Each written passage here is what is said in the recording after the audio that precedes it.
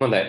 දරුවනේ අපි කතා කරමින් හිටියේ පහුගිය සතියේදී ක්‍රියාකාරකම 3 4 3 4 අනිෂ්ට මෘදුකාංග සඳහා උදාහරණ තුන අපි කතා කරා. ඊට පස්සේ අපිට තියෙනවා අනිෂ්ට මෘදුකාංග නිසා පරිගණකයට සිදුවේ හැකි හානි පහක් සඳහන් කරන්න. අනිෂ්ට මෘදුකාංග නිසා පරිගණකයට සිදුවේ හැකි හානි පහක් සඳහන් කරන්න කියලා තියෙනවා. අපි බලමු එකට උත්තර කොහොමද ලියන්නේ කියලා.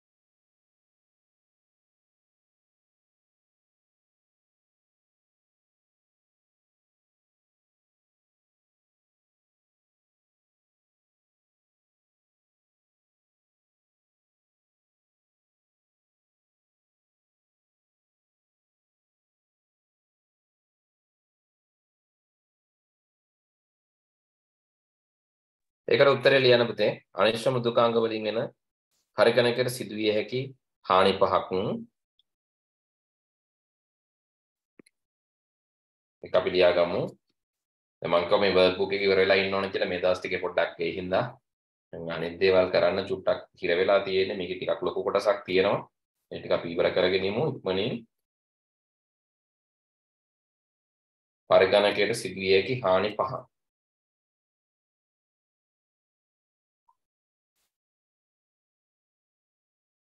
එකක් තමයි පරිගණකය මන්දගාමී ස්ලෝ වෙන්න පුළුවන්.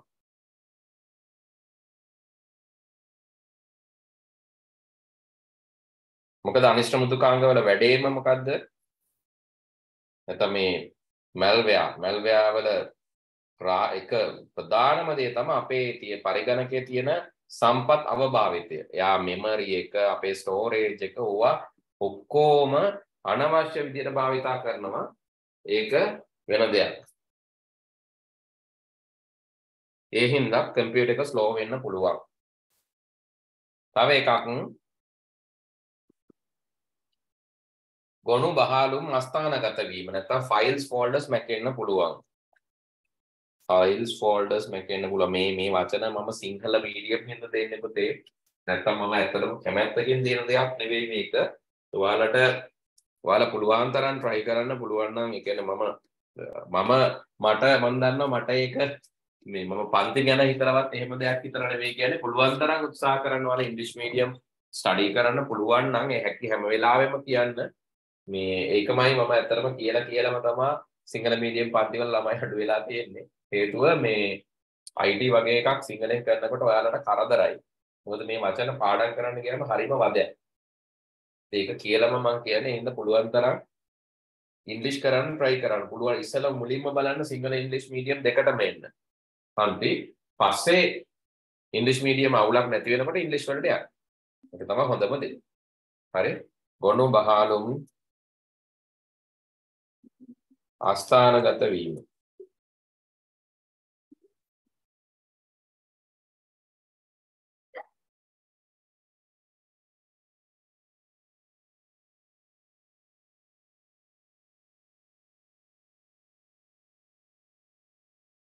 ගොනු බහලුම් අස්ථානගත වීම ෆයිල් ෆෝල්ඩර්ස් නැති වෙන්න පුළුවන්. ඒ වගේම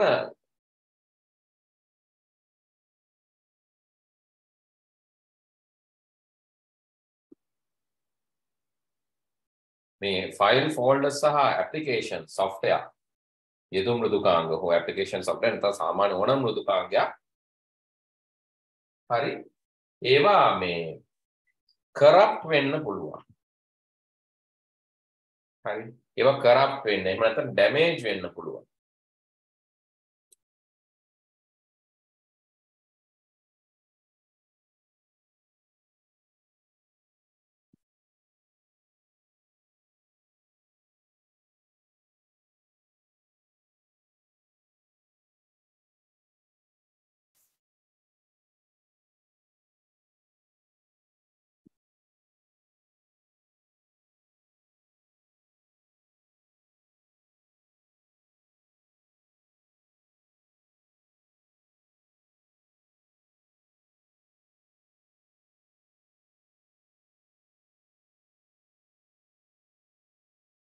හරි මේක ගොඩක් අය ගොඩක් වෙලාවට මේක වළංගු උත්තරයක් නොවන විදිහට ගන්නත් පුළුවන්. ඒ හින්දා මම තව උත්තරයක් අනිවාර්යෙන් දෙන්නම් හයක් මේකට.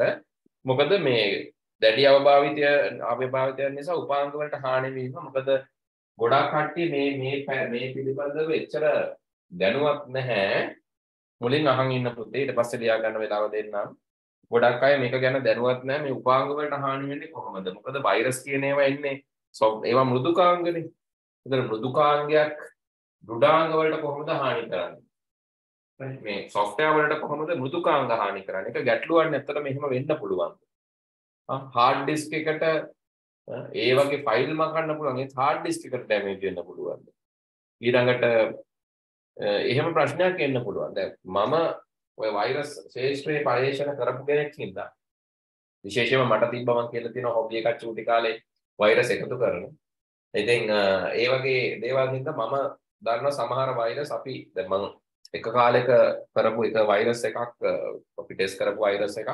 ඒ වෛරස් එකකින් කරපු දේ තමයි CD DVD එක තියෙනවනේ DVD දාන එක තියෙනව නේද? CD drive එක DVD drive එක කම්පියුටර් එකේ ආගෙන දෙන්නේ CD DVD drive එක දන්නව නේද? ඔව් සර්. CD DVD drive එක මම මේ වෛරස් එක හැදුවේ පුතේ නිකන් හදලා බැලුවා විතරයි. කාටවත් ඉන්ෆෙක්ට් කරේ නැහැ. මේ වෛරස් එක හදලා බැලුවේ හැම විනාඩියකටම සැරයක් CD drive එක ඇරෙන්න ඔටෝ. හරිද? එතකොට වැඩ කරන කෙනාට මොන වගේ ෆීලින් එකක් දෙන්නේ කියන එක නිකන් හිතලා බලන්න. මේ වගේ වෛරස් එකක් ගියා නම් ඒ කියන්නේ හැම විනාඩියකටම සැරයක් DVD drive එක ඇරලා එළියට එනවා. අර දොර අරගෙන එනවා. එතන ආයෙ ටිකකින් ආයෙ දොර අරගෙන විනාඩියකින් ආයෙ බැලුවම ආයෙ විනාඩියකින් ආයෙ එනවා. ඉතින් ඕක දැන් වෛරස් එක රන් වෙන වෙලාව වෙනකොට නොනවත්වා සිදු වෙනවා. කාලයක් ගියාම මොකද වෙන්නේ? ඕකෙන් DVD drive එක සවුත් වෙනවා. ඒ හින්දා උපාංග වලට හානි වෙන්න වෛරස් හදන්න පුළුවන්. හරි. සමහරලාට හાર્ඩ් එක නිතරම පිරෙනවා. පිරෙනවා පිරුණ නැත්නම් හાર્ඩ් එක නිතරම රන් වෙනවා. නැත්නම් process එක නිතර නිතර process එක හොම memory එක use කරනවා. overuse හින්දා උපරිම යටත් සමහරට ඒකට ඕනවට වැඩිය වැඩ දෙන හින්දා ඕනවට වැඩිය යූසේජ් එකකින් හින්දා ඒ උපාංග වලට හානි වෙන්න පුළුවන්. හරි. දැන් ලියාගන්න. ඒකයි මම කිව්වේ උපාංග වලට හානි වෙන්න පුළුවන් කියලා. හරි. දැන් ලියාගන්න පුළුවන්. ඊළඟට තව මොකද්ද? දැඩි අවභාවිතය නිසා උපාංග වලට හානි වීම, මන්දගාමී වීම, මොනු භාරු මස්ථානගත වීම,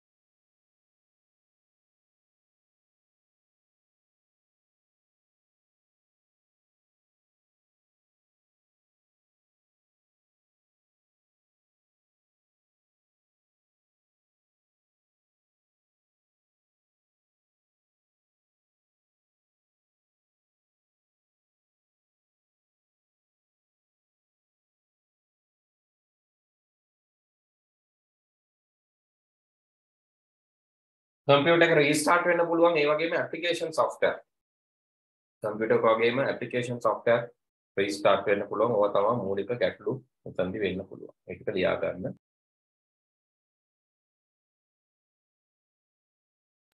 අනිෂ්ක්‍ය මෘදුකාංග වලින් සිදුවන හානි වළක්වා ගැනීමට යොදා ගන්න පුළුවන් ක්‍රියාමාර්ග අහනවා. මේ viruses worms trojan horses අවවාගෙන් වෙන හානි අඩු කරගන්න වලක්වා ගන්න සම්පූර්ණයෙන් වලක්වන්න නම් බැරි වෙන්න පුළුවන්. ඒ හානි අඩු කරගන්න අපිට කරන්න පුළුවන්.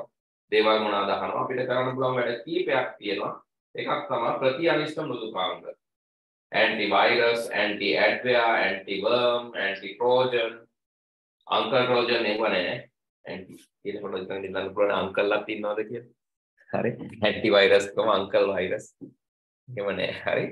එතකොට ඇන්ටි වෛරසස් නැත්නම් ප්‍රති වෛරස ට්‍රෝජන්ස් ඇඩ්වයාස් ඒ වගේ අපිට යොදා ගන්න පුළුවන් ගොඩක් ඒවා.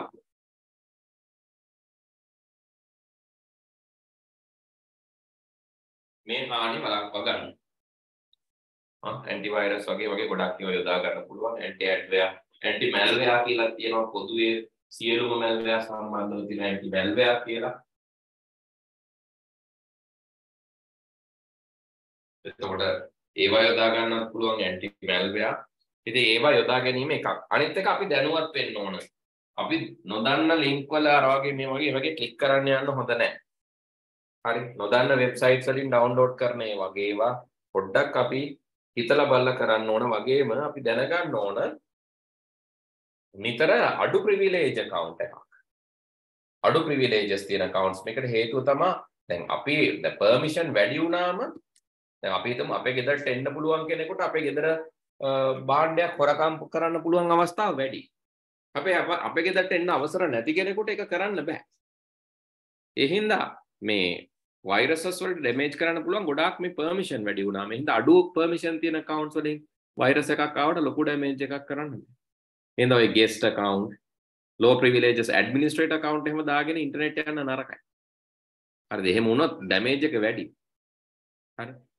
ඒක හරියට නිකන් මේ මුළු මේ මුළු මේ ගෙදරකම යතුරු ටික නිකන් ඉස්සරහින් එල්ලලා යනවා වගේ.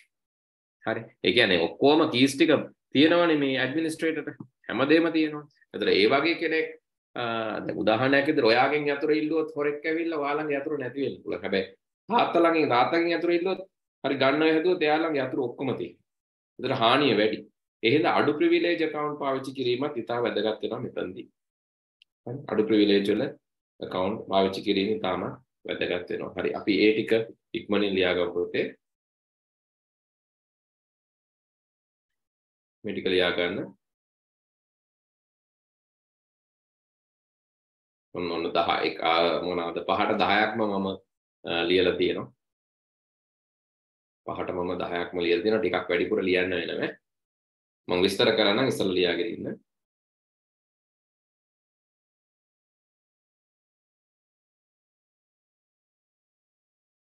ප්‍රතිවෛරස ගැන මම මුලින්ම කිව්වා අපිට අනිෂ්ට මෘදුකාංග නැත්නම් මේ වෛරසස් එහෙම නැත්නම් අපිට තියෙන අනිෂ්ට මෘදුකාංග වලින් මොනවාද අනිෂ්ට මෘදුකාංග මැල්වෙයා ඇඩ්වෙයා බ්‍රෝජන් ස්වර්ම් ඕන එකකින් ආරක්ෂා වෙන්න ප්‍රතිවෛරස වගේම ප්‍රති අනිෂ්ට මෘදුකාංග අපිට භාවිතා කරන්න පුළුවන්. ඒ වගේම ෆයර්වෝල් එකක්. ෆයර්වෝල් එකක් පාවිච්චි කරලා අපිට පුළුවන් මේ බාහිරින් එන ගැටලු බාහිරෙන් එන අනතුරුදායක ඒ කියන්නේ හානි එන්න පුළුවන් ඒවා බාහිර නෙට්වර්ක් ෆයර්වෝල් එකක් හරියට අපේ තාප්පේ වගේ. කියන්නේ ගෙදරක තාප්පයක් තියෙනවා නම් ගෙදර තාප්පෙට බාහිරෙන් ඇතුල් වෙන්න පුද්ගලයන්ට එන්න බෑනේ. තාප්පේ තියෙන ගේට් එකෙන් විතරයි එන්න පුළුවන්. ඉතින් ෆයර්වෝල් එකක් කියන්නේ ඒ වගේ. ෆයර්වෝල් එකේ තියෙනවා ගේට්ටු. ඒ ගේට්ටු කියන්නේ හරියට පෝට්ස්. හරි ඒ පෝට්ස් වලින් විතරයි එන්න පුළුවන්. එතකොට ඒ පෝට් වලින් විතරක් ඇතුල් වෙන්න පුළුවන් හින්දා අපි කියනවා ඒ ෆයර්වෝල් එකේ විට බාහිරින් එන ට්‍රැෆික් එක බාහිරින් එන ට්‍රැෆික් එක ෆිල්ටර් කරන්න පුළුවන්. ඒ හින්දා ෆයර්වෝල් එකක් අපිට වැදගත් වෙනවා පුතේ. විශේෂයෙන්ම අපි නෙට්වර්ක් එකකට ජාලයකට සම්බන්ධ වෙනවා. ඔයගොල්ලන්ගේ කම්පියුටර් එකේ by default firewall එකක් තියෙනවා. ඔයාලගේ කම්පියුටර් එකේ සාමාන්‍ය Windows දාලා තියෙනවා. Windows එකම firewall එකක් එනවා. ඔය firewall එකෙන් බාහිරින් එන දේවල් ඔයාලා නොදන්නවා වුණාට බාහිරින් එන ට්‍රැෆික් එක කන්ට්‍රෝල් කරනවා. ඒතර සමහර සැකකටයුතු සහ හානිදායි පණිවිඩ එනවා නම් මේ ෆයර්වෝල් එකෙනුත් නවත්තනවා. අපි බලමු මේ කොහොමද තියෙන්නේ වලගේ කම්පියුටර් එකේ කියලා. ඊළඟට ඊළඟ එක තමයි සමහර වෙබ් පිටුවල තියෙනවා සමහර ලින්ක්. එතකොට මේ ලින්ක් වල එක වගේම pop up windows එකවර උඩට pop up වෙන windows තියෙනවා ක්ලික් කරනකොට හරි ලින්ක් හෝ නිකන් සමහරලාට සමහර ඒවා උඩට ගියාමත් එනවා නිකන් windows. ඒවා මත ක්ලික් කරන එක නේ. ඒවා ඔටෝමැටිකලි නෙන්නේ. pop up windows ඔටෝමැටිකලි එන වෙන එකක් උඩ අපි ක්ලික් කරන්නේ අපිට ඕනේ නැති සමහරට ඇඩ් එකක් හරි මොකක් හරි දෙයක් එකපාර ඩිස්ප්ලේ වෙනවා. ඒ වගේ ඒවා මත සමහරට සමහර software download කරන්න ගියාමත් එහෙම. pop up windows එන. එහෙනම් අපි download කරන්නේ යන්නේ එක software එකක් හැබැයි වෙන මොකක් හරි window එකක් එනවා. ඒ වගේම ක්ලික් කරන එක හොඳ නැහැ. ඒ වගේම මේ අපිට ගොඩාක්ම සමාන software පුතේ කරන්න වගේ වෙනවා අප්ඩේට්ස් මේ අප්ඩේට්ස් දැම්මම ගොඩක් වෙලාවට අපිට නවත්ත ගන්න පුළුවන් අප්ඩේට්ස් වලින් අපිට නවත්ත ගන්න පුළුවන් මේ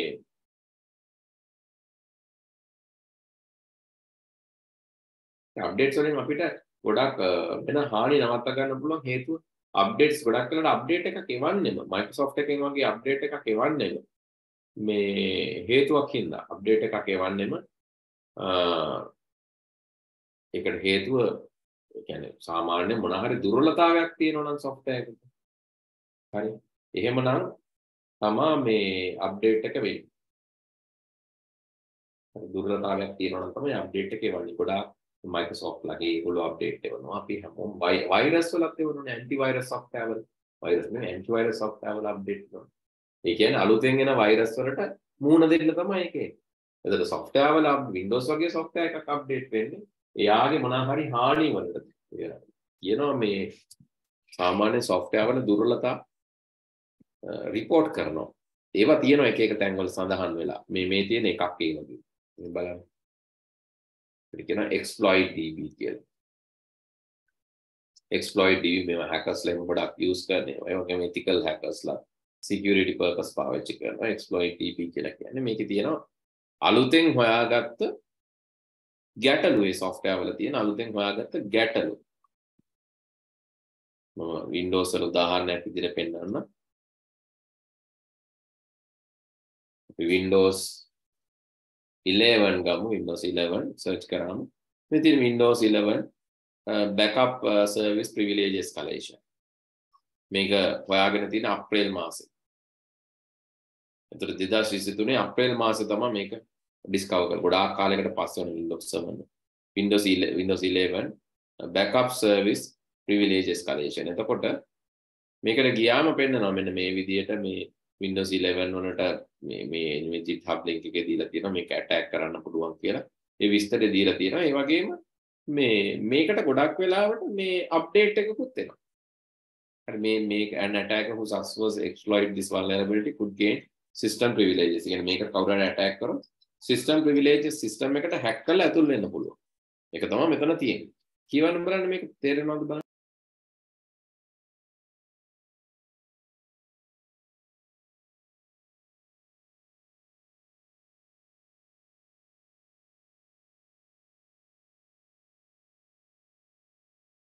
නැති වෙන්නත් පුළුවන් පැහැදිලි නැති වෙන්නත් පුළුවන්. හැබැයි මෙතනදී තියෙන්නේ මේක මේ කාගේද මේ තියෙන ප්‍රශ්නේ මොකද්ද software එකේ තියෙන ප්‍රශ්නේ මොකද්ද මේකෙන් වෙන්න පුළුවන් ගැටලුව හානිය මොකද්ද කොහොමද මේ ඇටැක් එක වෙන්නේ ඔක්කොම විස්තර තියෙනවා. මේ වගේ ගොඩාක් ඒවා තියෙනවා හරි.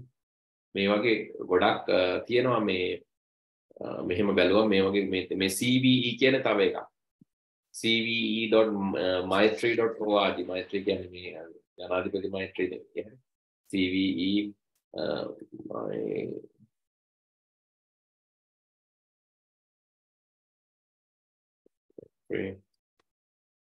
කියලා ගියාම මේ තියෙන cve.mytree.org කියන එකේ ඒකෙත් තියෙනවා මේ වගේම මේ මේ ඇත්තටම මේකත් අපිට මේ CVE කියන්නේ common vulnerabilities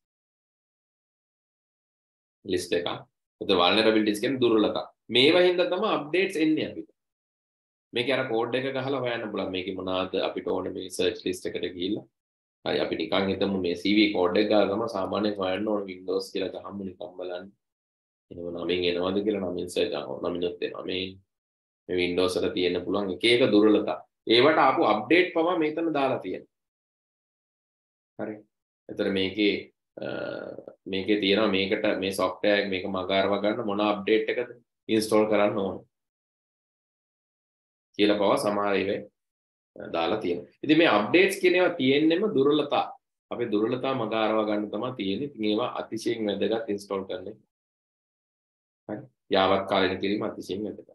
ඒ වගේම pop up window link ඒ වගේ මේ ඒ වගේ එන්න පුළුවන් විවිධ ඇඩ්වයා මැල්වයා ඇඩ්වයා එන්න පුළුවන් ඇඩ්වර්ටයිස්මන්ට් ඩිස්ප්ලේ කරන්නේ worms worms වලින් එන්න පුළුවන් කොපීස් ගොඩාක් එසැනින් මේ කොපිස් ගොඩාක් ක්‍රියේට් කරන්න වෙන්න පුළුවන් වර්ම්ස් ඉතින් ඒ වගේ දේවල් වලින් පරිස්සම් කරගන්න එක එතකොට මෙතන තියෙන්නේ තව මේ එක එක වර්ග.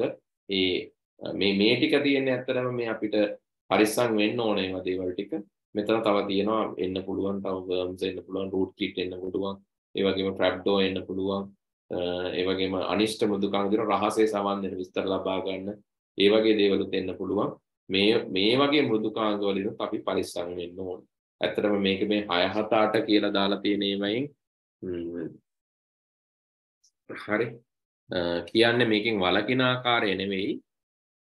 මම ඒක ඒ හින්දා මෙතන මේ මේවා ටික අයින් කරන්නම්. පොයින්ට්ස් ටික අයින් කරලා ඒ වෙනුවට මෙන්න මෙහෙම දෙයක් කියන්නම් මම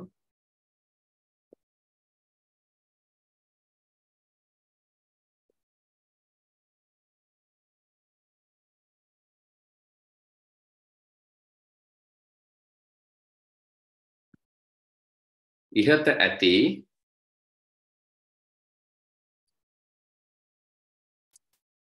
විවිධ වූ අනිෂ්ට මෘදුකාංග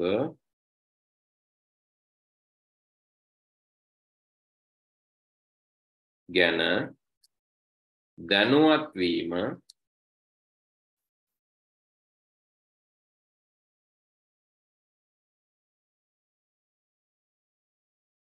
ඉතා වැදගත් වේ.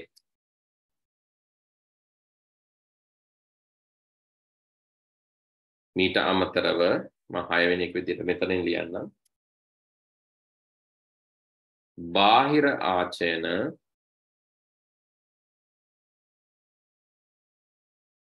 සම්බන්ධ කිරීමේදී ඒ කියන්නේ ස්ටෝරේජස් තියෙන පෙන් ඩ්‍රයිව් වගේ මම ඒකට කියන්නම් මෙතන වරහන්න නැතිල නැත්නම් ඔයාලට මතක් වෙන්නේ නැති මේ මොනවාද කියලා. Pen drive external hard memory card CD DVD සම්බන්ධ කිරීමේදී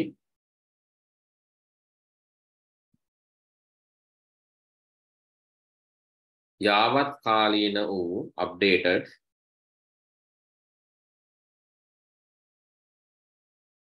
ප්‍රති අනිෂ්ට මෘදුකාංග මගින්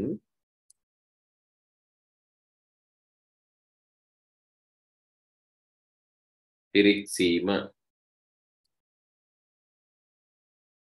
වැදගත් වේ.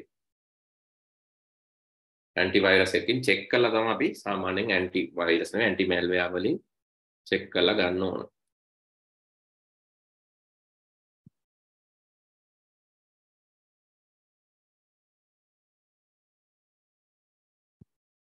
අත්‍යවශ්‍ය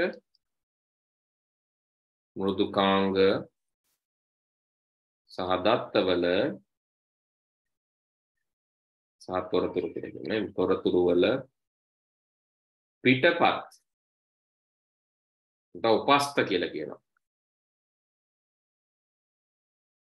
තබා ගැනීමද ආරක්ෂක ක්‍රමයකින් කියන හදිස්සි හරි මොනා හරි වුණොත් අඩු ගන්න අපිට කොපි එකකින් ගන්න පුළුවන්.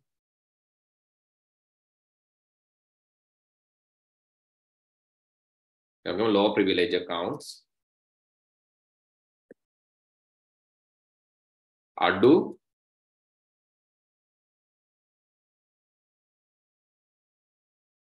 පහසුකම් සහිත ගිණුම්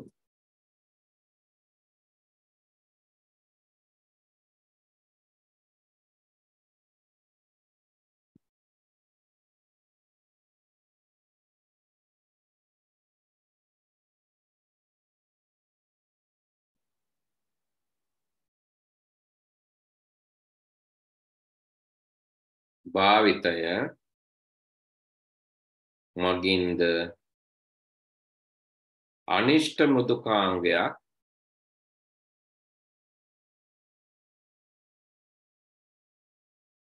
ඇතුල් වුවහොත්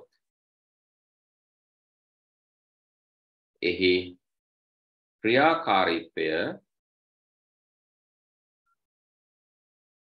අඩපණ කිරීමට වැදගත් වේ.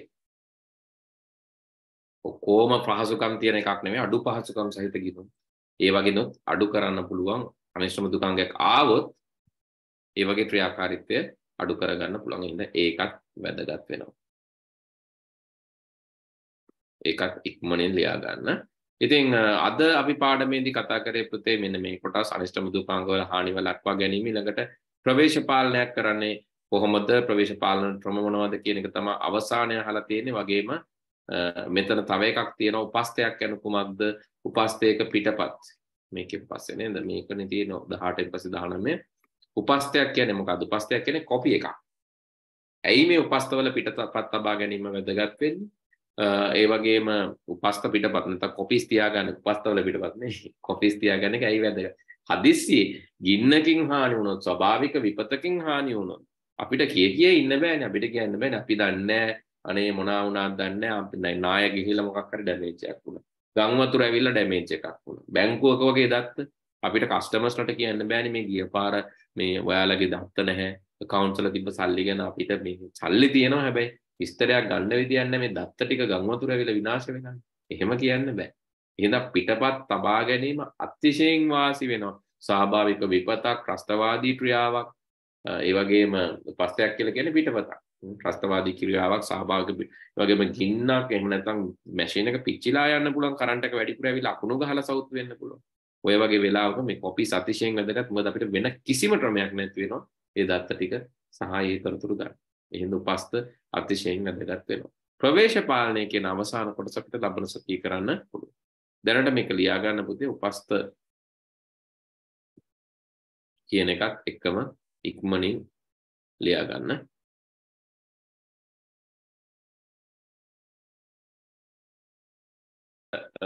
දැන් මේක මේ ලක්මාලි මිස්කින් ගන්න ඕන ජුලයි මන්ත් එකට මේකේ ගොඩක් දේවල් තියෙනවා data corruption fraud reviewing ඒ වගේ ඒ පැත්තත් මම ඉන්ක්ලූඩ් කරලා තියෙනවා. ඒ වගේම encryption කියන නැත්තම් ගුප්ත කේතනය සිංහලෙන් නම් කියන්නේ ඒකත් මම ඉන්ක්ලූඩ් කරලා තියෙනවා.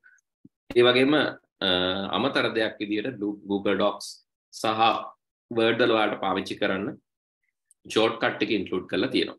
එතකොට මේ නෝට් එක ඔයාලට ඉල්ලගන්න පුළුවන් මිස් ලක්මාලිගෙන් මේ මේ පාරට අදාළව මෙතන මේ සාමාන්‍යයෙන් අපේ ලෙසන් එකට අදාළ නෝට් එක වගේම අමතර කරුණු ටිකකුත් මම ඉන්ක්ලූඩ් කරලා තියෙනවා මේ ටියුට් එකේ. මේ ටියුට් එක ඔයාලා ජුලයි වලට ගන්න ඕන. ඒක ලක්මාලි මිස් හරහා ඔයාලා කන්ටැක්ට් කරලා ගන්න. හරි. මම අදට මෙතනින් එහෙම නවත්තනවා පුතේ. අපි ලබන සතියේදී ඊටු ටික කතා කරමු. night Good night, sir. Thank you, sir.